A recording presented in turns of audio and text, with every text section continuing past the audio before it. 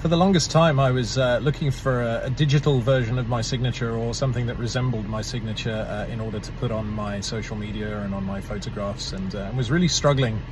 to, to come up with anything decent, particularly as my own writing and, and artistic talent uh, is somewhat akin to a drunk spider uh, walking on a piece of paper. Uh, and so I was kind of stumped until I found Artlogo, and I simply gave them my name and uh, added, uh, you know, a little caption underneath, and they absolutely knocked it out of the park and created a beautiful digital signature that I can now use on all my pictures and all of my um, electronic media. So thanks, guys.